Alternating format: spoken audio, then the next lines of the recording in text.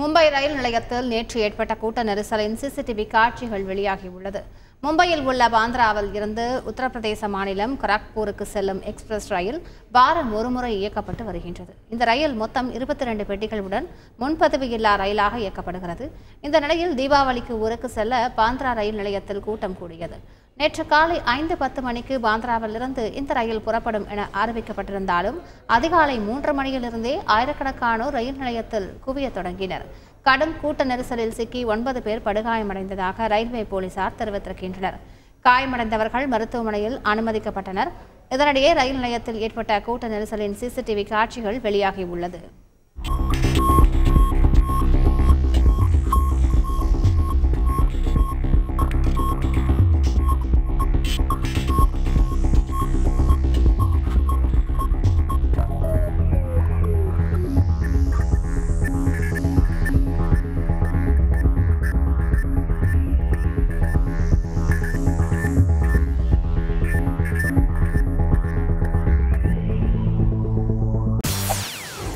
செய்திகளை உடனுக்குடன் தெரிந்து கொள்ள உடனே சப்ஸ்கிரைப் பண்ணுங்க.